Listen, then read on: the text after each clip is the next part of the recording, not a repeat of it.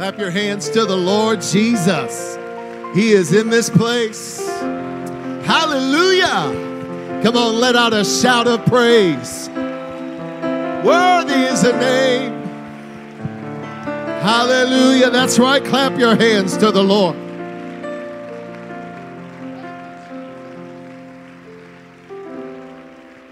Oh, blessed be the name of the Lord. Praise God. Well, do me a favor. Find a few people you don't know and introduce yourself to them real quick. Go ahead.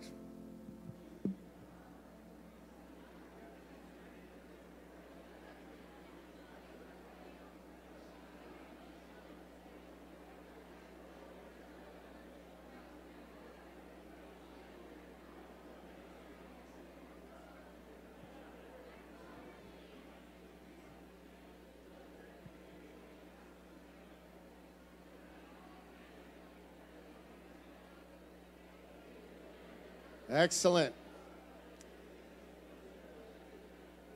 Very proud of my class. I see you. I see what you're doing here. Very good. We talked about connecting with people in our second session. They learned some things. Fantastic. You have your Bible or your phone. Why don't you grab that real quick? And while you're doing that, I just want to say how much I appreciate the invitation to preach at Torch Conference. What an amazing thing is happening here. The growth of this conference, the hunger that is here, and of course, we give honor to Brother Grant and we give honor to Brother Andrew Reese and Brother Seth Gillett and the instructors at ABI, all of their staff. And did you know that there are some ABI alumnus who have helped to uh, underwrite some of the expenses of this? Can we give everybody a hand who's contributed? We're so very thankful for that. I'm grateful for Apostolic Bible Institute. There are iconic preachers among us who come from this school, and all kinds of people, faithful men of God, are preaching the gospel all across the country, and many multitudes and thousands of people in pews because of the investment that was made here in lives. So I'm very grateful to Apostolic Bible Institute. Also, Sister Heather Reese, the rest of the story is, is that she's the one who created the graphic. Sister Heather Reese created the graphics. And Brother Andrew Reese said, Who made these graphics? And I said, Heather Poland, I have to marry that woman. I don't, I, I just have to marry her. So that's how it went. Isn't that how it went, Brother Andrew? Well, maybe not quite like that. Amen. Well, I'm doing something that feels a little awkward to me. Uh, I'm jumping the rails of where I was going to go last night. I had a, the message all ready to go, shiny and brand new, and, and Sister Heather Reese made a, made a title slide for me. And as this morning, as I was interacting with students, I felt God just pushing something into my spirit, and I, I can't do anything less than what He's telling me to do. God gave me a message for young people many years ago. In fact, in November of 2001, I preached that message in this state. And I felt God just push this back into my heart and say, I want you to preach it to this generation. There's a word that God wants you to receive. It's a timeless word. Psalm chapter 91 and verse 13 is our text. To all of the staff and all of the uh, leaders who brought students here. God bless you. Thank you for making that investment. To our young people who took time off of work, you did the right thing. For those of you who walked away from that, you know, math class for a couple of days, you did the right thing. You're in the right place. Psalm chapter 91 and verse 13 Thou shalt tread upon the lion and adder the young lion and the dragon shalt thou trample under feet. I want to preach to you on the subject of young lions. Would you pray with me? Jesus, we love you. Your presence is here, the anointing is here. Lord, I believe that you're going to deliver and set free today. In Jesus' name, we take authority over bondage. We take authority over the chains that bind and hold these young men and women back. We take authority over every spirit that would wage war on the preach word of God. Let there be a yes in our spirit and an amen. In Jesus' name we pray. And everybody said, Amen. Turn to three or four people and let them know. Tell them, say, You are absolutely better looking than I am.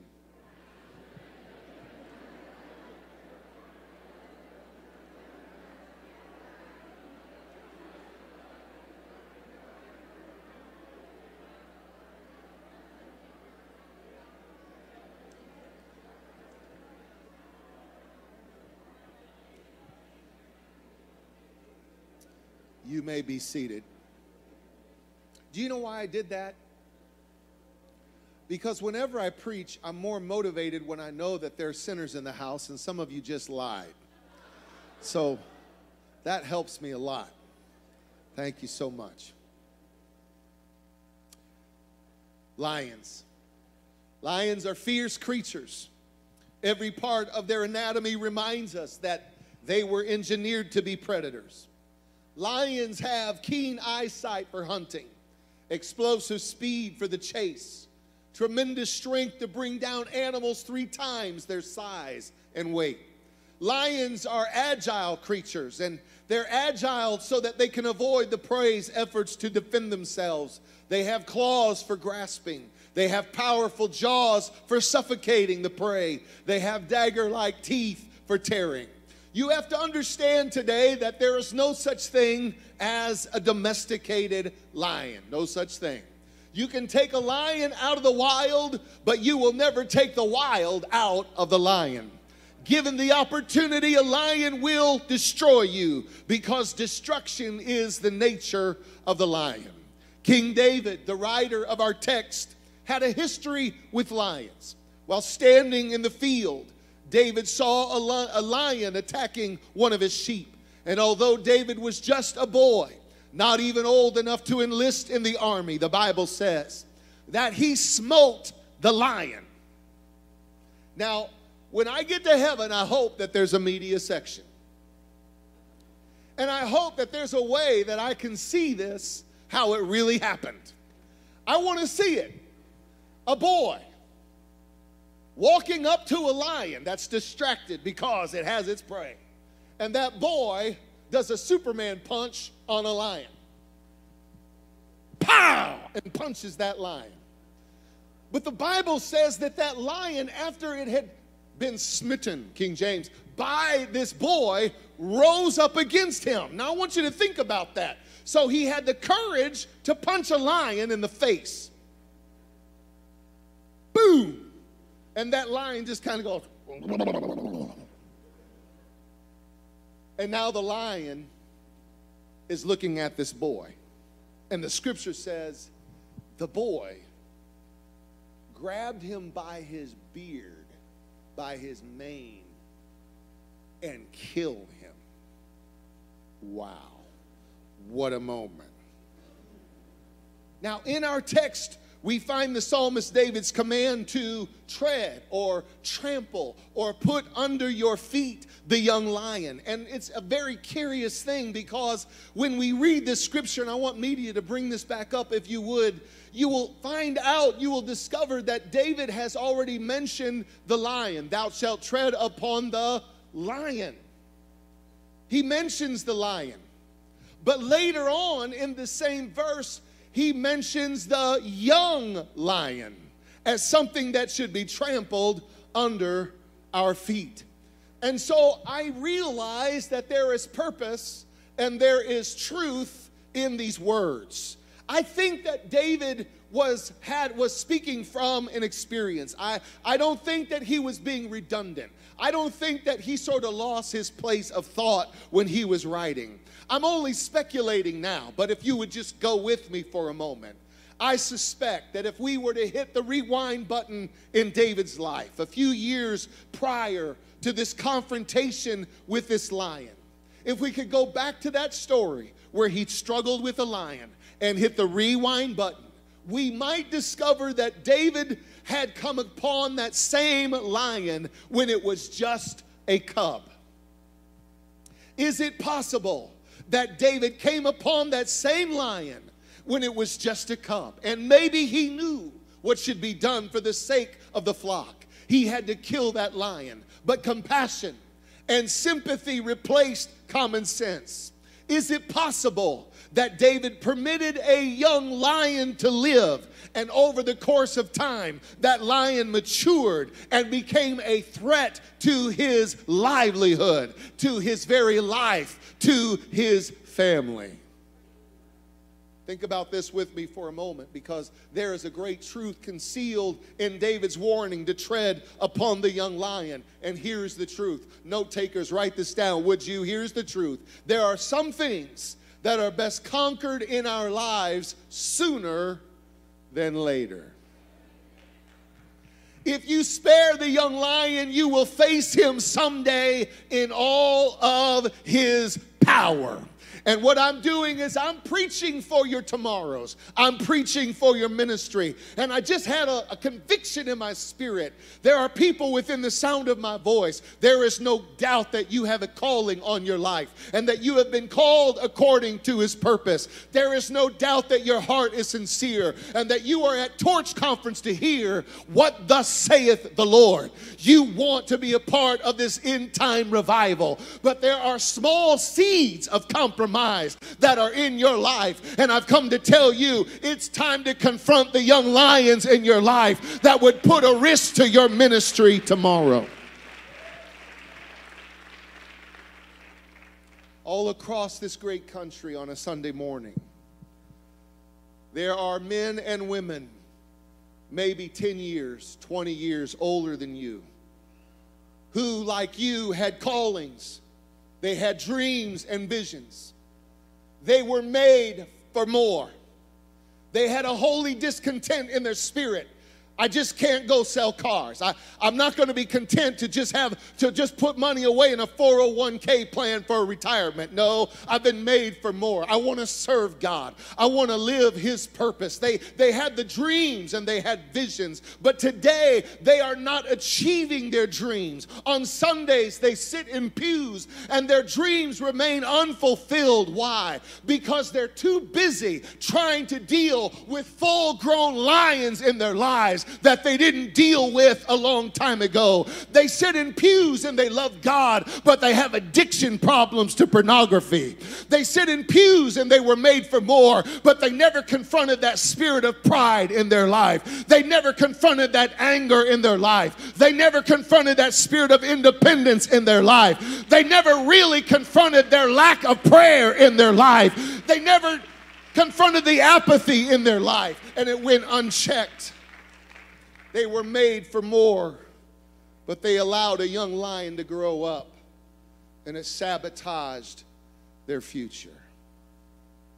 They don't have the time to serve, and they will never realize their dream because they're too busy just trying to survive. Now, the idea is I just want to be saved.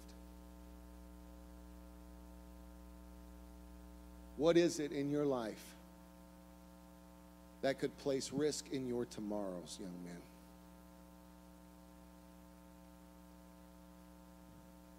Ladies, what is it in your life that God has been talking to you about that seems to persist? That attitude, that relationship that's out of bounds, that could cause you to be one who would live your life with your dreams unfulfilled. When you harbor a young lion in your life, and you don't deal that issue you have with your personal cell phone,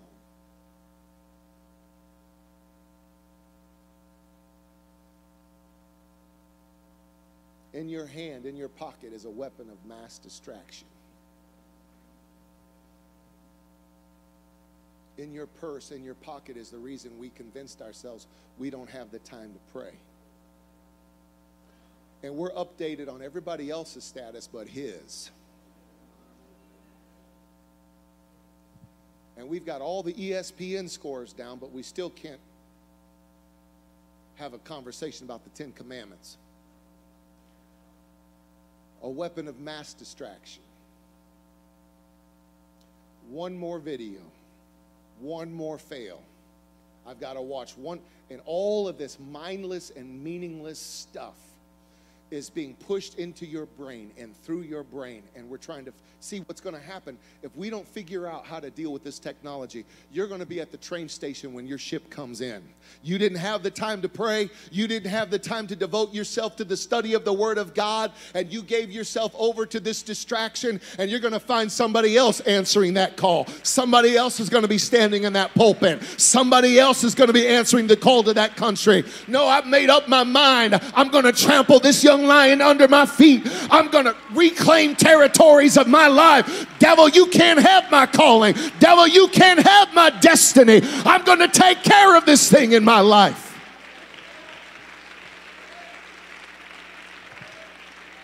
Yes. Come on, somebody needs to get real. Somebody needs to say, Preacher, I need help. Pastor, I need some help. I need you to talk to me. I've allowed something in my life and I don't know how to put it away.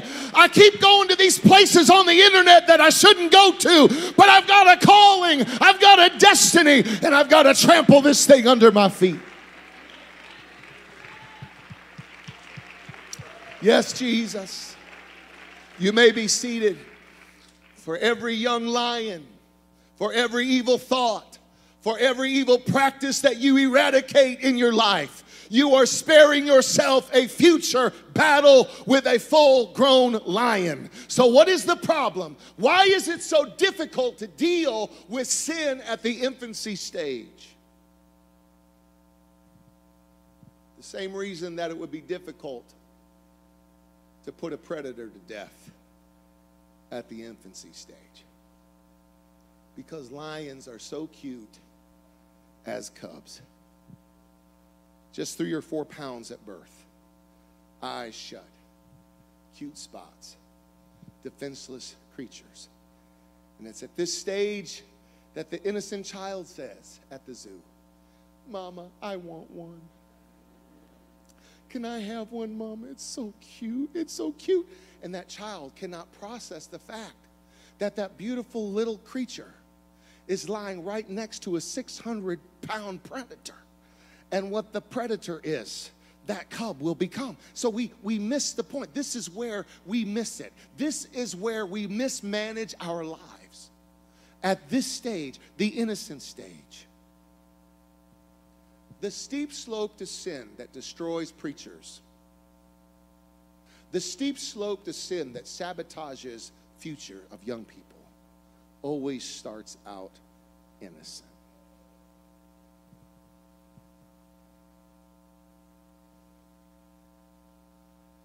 And you're nurturing an Instagram relationship. And your pastor doesn't know about it.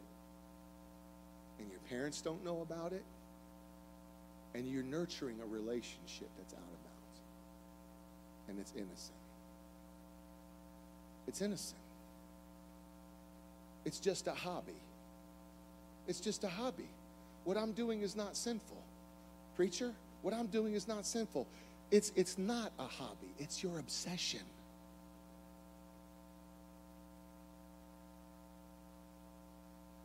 You can't put the buttons down.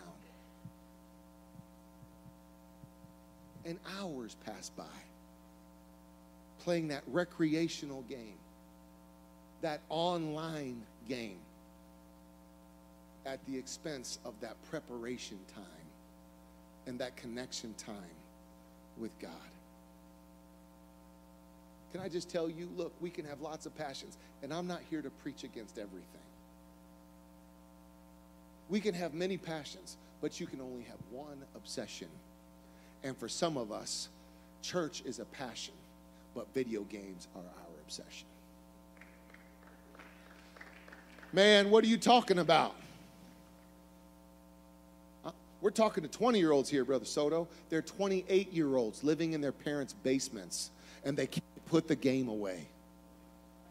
And it's hijacked their whole life. You're not immune to the distractions of this world. Brother Soto, you don't understand. There's so many things that are worse than what I'm doing. It's, I'm okay. I haven't stepped out of bounds. It's, it's not necessarily what you're doing, it's what you're about to do if you don't trample this young lion under your feet. I had a conversation with a lady one time, and I was trying to help her to understand, impress in her mind, that the relationship that she was involved in was not good for her. And so it was kind of a no brainer. Turn to your neighbor and say, no brainer. It was a no brainer. Now, this lady, she, she was a single lady, she had a son. And, and she had a good job and, and she lived in a nice place, drove a nice car, and everything's good. But she, she has this young cub, this lion cub, and she's playing a game. But the relationship is at the innocent stage. But I see a predator, and it's a no brainer. And I'm telling her, I said, well, number one, understand this. This, this individual, this, this guy has several children, and he's never been married, and each of his children have different moms, and he's not employed, and he has some addiction problems. Was I overreacting? Do you feel like I was overreacting? Should I just supported her? And the list just went on and on and on, and it was obvious this is no good. Do you know what her response to me was? I'll be careful. I'll be careful. This is essentially what she was doing. She was cradling a lion cub. And she was just saying, It's all right. Look at this. We're just friends. We're just friends. Uh, everything's going to be fine. I wouldn't do anything to put my child at risk. I wouldn't do anything to put my life at risk. I'll just be careful. Everything's going to be fine. You hit the fast forward button, and I kid you not, within months, she had lost her job. Her car was gone. She had lost it all. And she called me only because she and her son had not eaten for two days.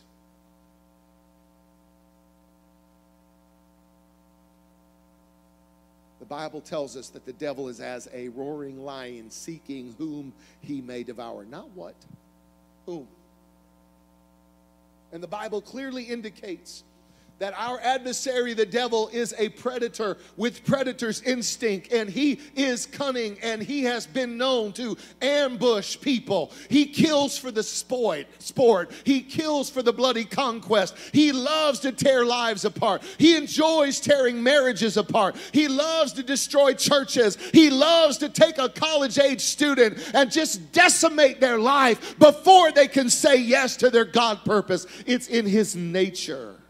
It's his desire. That's what he is all about. And I believe this is what Paul had in mind when he wrote in Ephesians chapter 4 and verse 27 Give no place to the devil.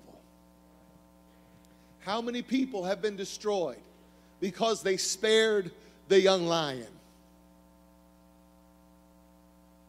I'm reminded of Saul who spared the Amalekite king when he was told to spare no one among the Amalekites.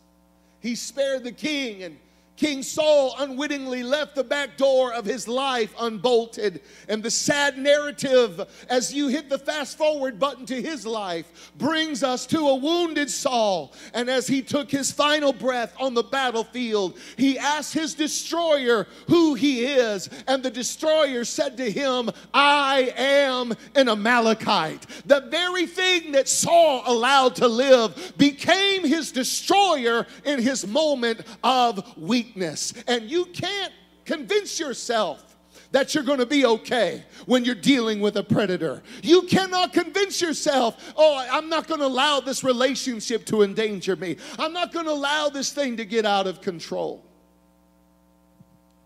I'm not hurting anybody. It may not be the right thing, but I'm not hurting anybody. You see, it just it's just something that I do every once in a while when no one's around. But why don't you trample it? Why don't you confront it? Why don't you confess it? Why don't you ask someone to help you? Why don't you ask someone to pray with you? Why don't you ask somebody to join together with you? And why don't you begin to study the Word of God and equip yourself to be more powerful and valiant and courageous and strategic in overcoming this thing?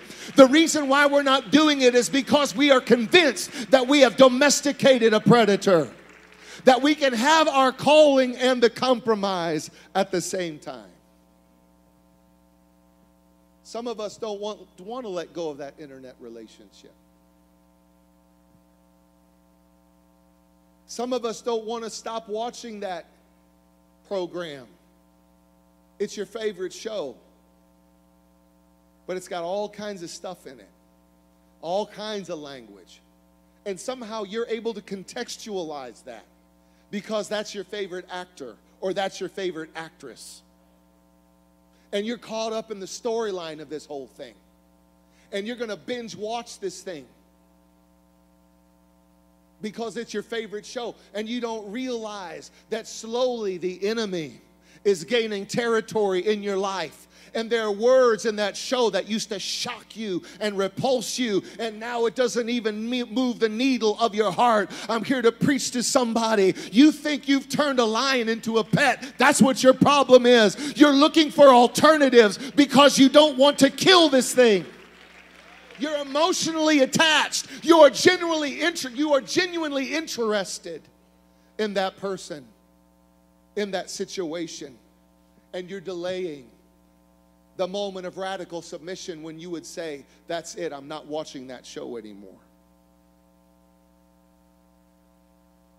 I'm never going to that website again. In fact, I'm going to make myself accountable.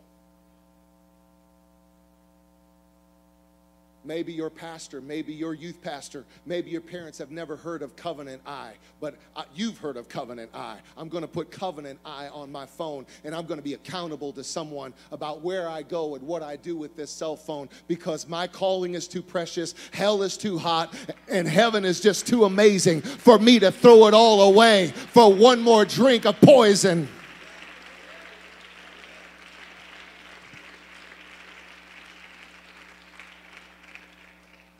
Enemy wants you to feel comfortable with young lions. The enemy wants you to feel comfortable with young lions. He wants you to believe that you, of all people, have struck a balance, an unprecedented balance in life. That somehow you can go home and with certain people or in privacy do certain things but you feel like you're okay because you can still feel God's presence or even God's anointing in church. I'm going to tell you something, and I don't ever want you to forget what I'm about to say. Just because you feel God's presence does not mean you have His approval. God dwells in praise. And when we begin to praise God and we begin to celebrate His presence, when we begin to worship Him, I'm telling you, you will feel His presence. And yes, you'll have some goosebumps. And yes, you might even speak in tongues. But I want you to know just because you feel that does not mean that you are in right position with God. And the enemy wants you to believe that you're okay. He's happy for you. He's content that you feel God's presence. And yes, that even you are anointed in a church, the context of church, while you're sitting in the privacy of your own home. He is not going to rear his ugly head in church. He wants you to believe that you have victory because of what you experience in church. He's on his best behavior. But you can't control this thing. That lion is growing. That lion is growing. Anybody know what I'm talking about? Am I in the right place? Am I in the right place? How many of you know the devil wants to sabotage your future? And it's time for us to say, I'm not showing mercy to the devil. He's never shown mercy to me. But Jesus Christ on the cross, there's a picture of mercy. And I have courage today. I'm to trample this thing under my feet. I'm to admit it and quit it. I'm to do whatever I have to do to put this thing under my feet. I refuse to bring pornography addiction into my marriage. I refuse to bring pride into my ministry. I refuse to have a bad relationship with my pastor. I refuse to have a bad attitude towards leadership. I am going to be what God has called me to be. Somebody said, Amen. You may be seated. Because, young people, you just have to know this. You cannot handle a lion. You can't. You just can't handle a lion. Okay? I'm the lion. Okay? Now, I'm, I'm going to try to illustrate to people how this works. All right? So I'm the lion, and I just want you to walk me around a little bit. And this is how it works. Now, we don't know each other very well. We did meet each other, and, and I was happy to meet you. And this illustration is not an indictment on your life personally, so I want you to know that I just pulled you out of the pew for an illustration, okay? You cool with that? All right. So take me for a walk. So you met her online. you met her online. And actually, you had had you'd known her previously a long time ago, and now you're reconnecting with her.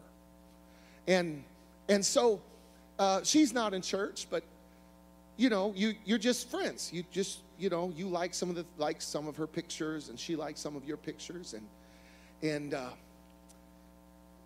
all of a sudden, she starts going through something, and and so you just kind of shout out to her and just say, "Hey, I'm sorry you're going through that." And the next thing, you get this this message, and it says, "Can I have your phone number?" And so you're like, "Ooh, I don't know if this is a good thing or not. So, so you uh, you go ahead and you give her your phone number. You give her your phone number, and and the next thing you know, you're talking, and she's sharing secrets with you, and.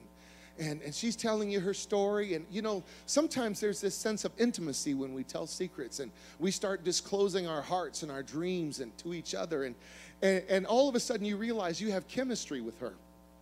You realize that you have attraction with her and, and she starts to talk a little bit about how she's interested in you. And, and you know look this isn't what i envisioned for my life. This isn't where i was going to go. This isn't what i was supposed to do. But but this relationship is just kind of moving forward. Now pastor doesn't know about it and the youth pastor doesn't know about it and your parents don't know about it. It's just kind of it's just kind of happening and then finally it happens. She says hey you know what? I'm going to come see you.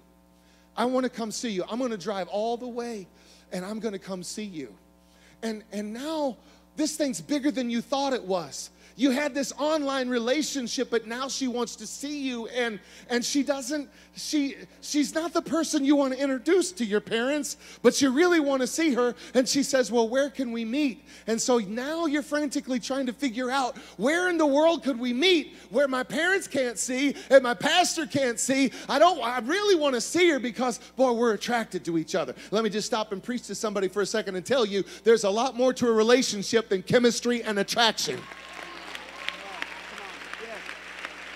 Just because you have chemistry and attraction doesn't mean you're right for each other. You've got to have a higher standard than chemistry and attraction. You've got to know their values. You've got to know their heart. You've got to know their commitment to God.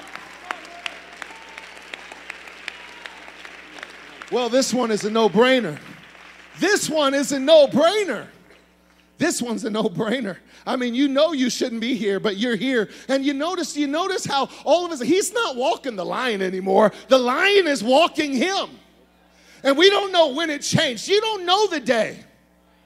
When you don't confront that thing that's in your life, that all of a sudden you realize you're not in control like you thought you were in control and you were just losing your temper with your family and with your parents, and you were talking back to them, and you never got control of your attitude when you were disappointed. But now it's a critical conversation with your pastor and in office, and all of a sudden you're spouting off to a spiritual leader in your life, and the lion's taking you for a walk, and in it, the things that you thought you would never do, saying things that you thought that you would never say. And this is exactly what that lion will do. The lion will isolate you, he will pull you away from your church. He will pull you out from under the umbrella of the authority of your pastor. He will drag you away from the counsel of the Word of God, and He will get you all by yourself.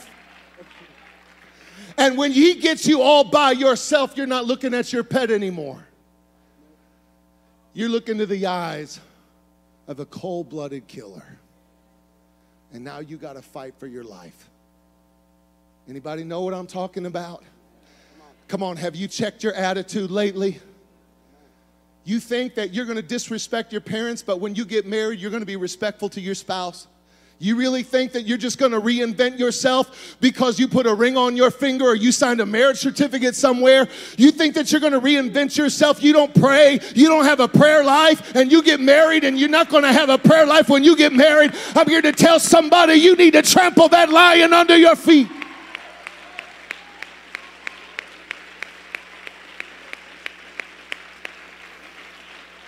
Yes. Oh, you might win this fight we're about to have.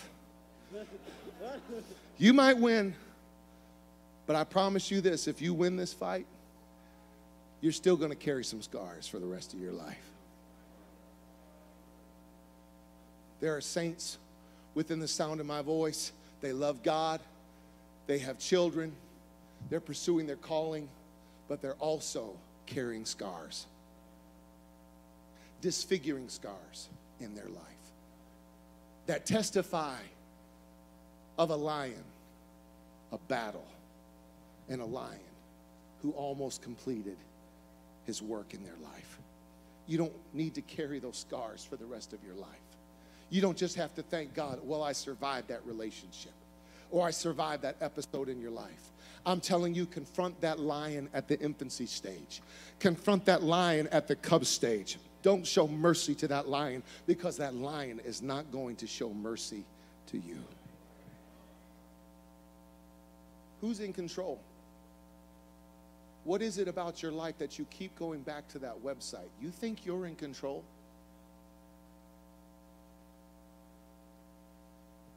You think you're in control? When you can't help but speak words about people? say words that you would never want them to hear, and there's gossip, a spirit of gossip in you, you think you've got control of that? My friend, God is bringing truth to your life right now. And He's pointing His finger at the thing that could destroy your future. And He's saying, Let me have it. Let me have it. Surrender it to me. Let me arise and let me scatter the enemy in your life. Oh, I believe in God's grace. I believe that His grace is sufficient. But I also believe that if we permit a young lion to live, he will have his day in our life. And for this reason, it is important that we kill the evil thought at its introduction. It's important that we destroy resentment before it grows into bitterness. It's important that we kill that spirit of criticism and gossip before it becomes destructive. It's important that we deal with that spirit of jealousy before it becomes a murderous lion. Anybody know what I'm talking about? I'm talking about young lions where somebody is promoted and you don't feel good about it. Somebody's holding the microphone and praise singing and they're doing it for the very first time and you don't feel good about that. And in your spirit you have a competitive spirit and an ambitious spirit, and you can't celebrate someone else's wins. You need to confront that spirit right now and say, I refuse to create an opponent out of a brother or a sister. I'm not going to let this thing derail my life and my spirit. Yes.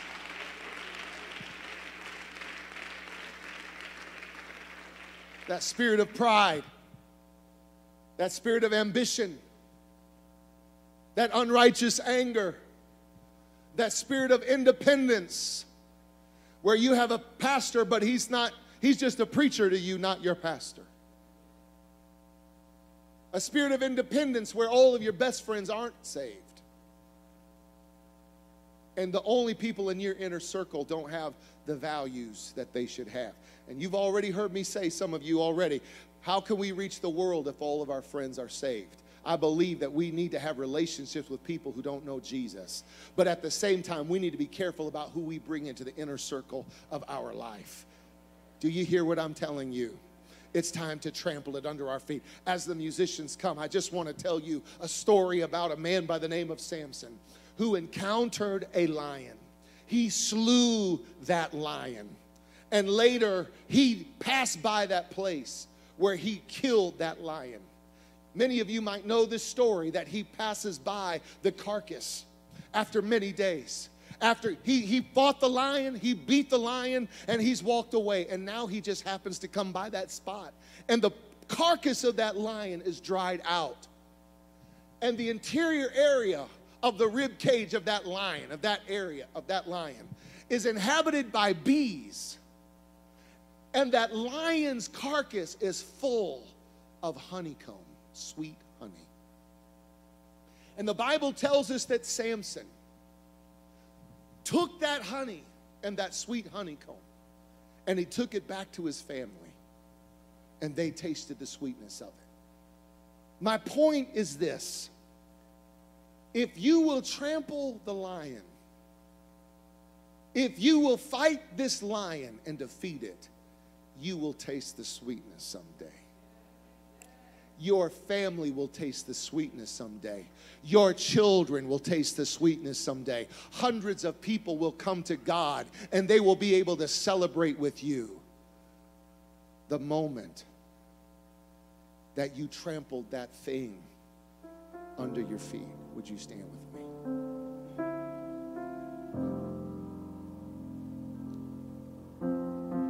There's going to be a pop quiz on your commitment to God.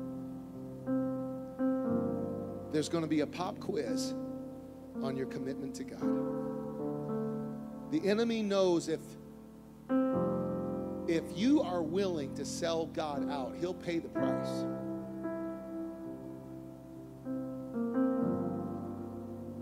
I've had moments in my life, key moments, where the enemy would send a powerful spirit to test me. Key moments. I could tell you lots of stories. But I just want you to know I'm tasting the sweetness today because I made up my mind I'm going to trample that thing under my feet. It seems like I blinked and, and here I am, 46 years old son who's married, daughter in college, son in high school. How different would my life be had I not decided to make a U turn in my life when I was moving the wrong direction? Right in the middle of high school, my sophomore year. And I said, I don't even want to do this. I don't even want to be like this. What am I doing? I want to live for God. My problem is I don't know how to deal with peer pressure, but I'm tired of that. And I made a U turn in front of God and everybody in my sophomore year. I went to people and I said, I went to a public school and I said, you know what? I did things, I said things, and I'm sorry I did those things and said those things. And I just want you to know that I've made up my mind that I'm going to live my life for Jesus Christ. So don't ever ask me to do that again. And I'm sorry you saw me do that in the first place. I'm sorry you witnessed that. And I just had to make a U turn in front of everybody. And I'm sure that there were some people who doubted and criticized and were skeptical about my journey. But, but by the time I graduated from high school, I had the privilege to see many of my classmates baptized in Jesus' name and filled with the Holy Ghost.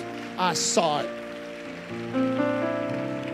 Today I'm privileged to serve a great church. Today, I have a beautiful wife who loves the Lord, and I have three children, all of them invested in ministry, and every one of them are serving God. They, they are wonderful young, uh, young people, and I, I'm so very proud of them. What would my life be like had I not trampled that lion under my feet? What would my story be? Who would I be married to? What would my children look like? I'm, you're looking at somebody who's tasting the sweetness today.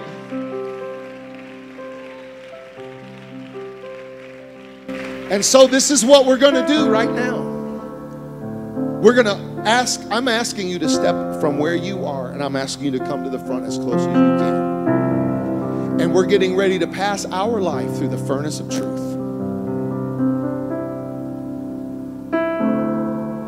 We're getting ready to pass our life through the furnace of truth.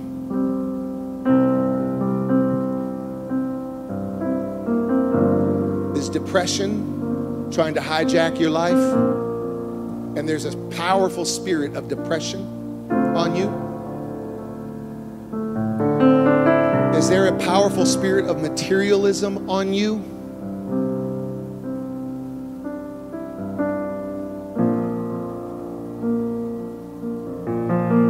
Do you have unforgiveness in your heart? Somebody hurt you?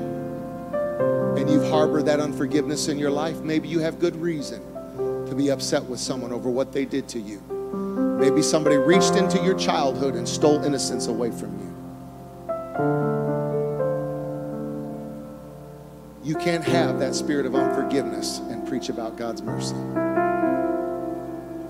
And so, what we are going to do is we're going to point our finger at the thing that could bring risk to our tomorrows.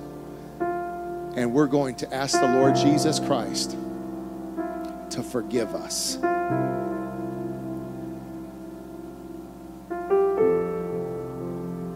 And I believe that the Lord is opening a window today to bring deliverance and liberation to this house.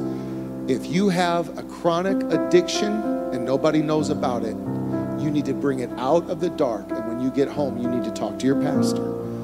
And your pastor's going to love you and he's going to show mercy to you. If there's something in your life that you, you're not winning this battle alone, you've got to bring your pastor into the equation and you talk to your pastor. You talk to your parents. Why? Because we're serious about this ministry thing. And while it may be difficult for a moment, I'm telling you, it's not nearly as difficult when this lion grows up. In the name of Jesus. Father, we lift our hands to you. Lord, I am an open book and I can hide nothing from you. You know me, God. You know me, Lord. You know me, Jesus. You know where I hurt. You know where I'm struggling. You know, God, where I'm out of bounds. You know, Lord, that I have failed you in this area of my life. Young people, talk to the Lord a little bit right now. Maybe it's a sin of commission. Maybe it's a sin of omission, something you should be doing, but you haven't been doing. Hallelujah, Jesus. I bring it to your throne. I confess it, Lord. I confess it to you, Lord. Wash me, cleanse me, create in me a clean heart, renew a right spirit in me, Lord. In Jesus' name. Hallelujah. Hallelujah. I take authority over the enemy. I take authority over depression. I take authority over addiction. I take authority over pornography addiction. I take authority over chemical addiction. In the name of Jesus Christ of Nazareth, let that person go. In Jesus' name, the Lord rebuke thee. In Jesus' name, we bind that which comes against the children of God. We take authority over that spirit in the name of Jesus Christ.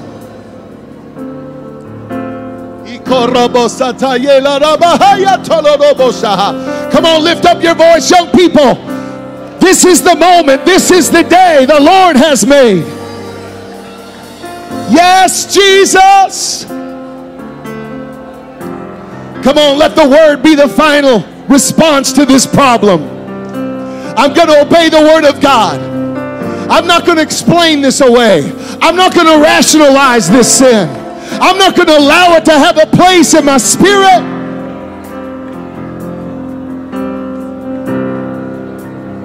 In Jesus' name. I feel the Holy Ghost in this house. I feel the Holy Ghost in this house. Hallelujah. I feel that there are some young people who realize the power of this moment. There's some young people in this house who realize the significance of this moment. In Jesus' name. Yes, Lord, we bind that spirit that comes against your child. Render it powerless, Lord. Send it to hell from whence it came, we pray. In Jesus' name. Yes, Lord, execute your righteous judgments against it. I'm going to trample this lion under my feet in Jesus' name. In Jesus' name.